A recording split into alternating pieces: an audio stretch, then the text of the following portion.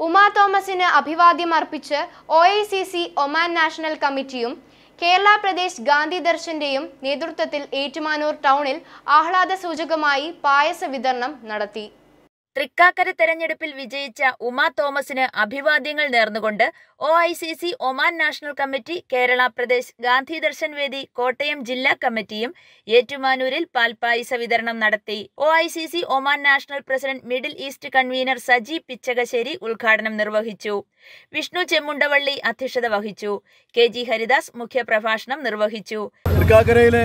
ഐക്യ ജനാധിപത്യ മുന്നണിയുടെ പ്രിയങ്കരിയായ സ്ഥാനാർത്ഥി ശ്രീകുമാർ തോമസിന്റെ വിജയത്തിൽ ആഹ്ലാദം പ്രകടിപ്പിച്ചുകൊണ്ടാണ് O I C C Oman കമ്മിറ്റിയുടെയും Kerala ദേശീയ ഗാന്ധി ദർശൻ വേദിയുടെ സംയുക്ത അഭിയോഗത്തിൽ ഈ പായസ വിതരണം ഇവിടെ നടത്തുന്നത്.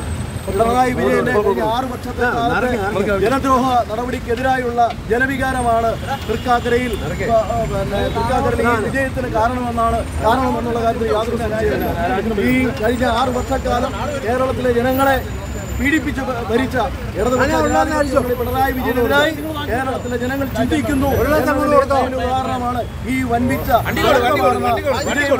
വിജയമെന്ന് യാതൊരു സംശയവുമില്ല. ടോമി നരിക്കുഴി അഡ്വക്കേറ്റ് രാജീവ് ചിറയിൽ ഐസക് പാടിയത്ത് രാജു ജിമ്മി അരുൺ ജോബിൻ ബിജു ജിൻസ് സുകുമാരൻ നായർ എന്നിവർ പ്രസംഗിച്ചു. I four U news Ettumanoor.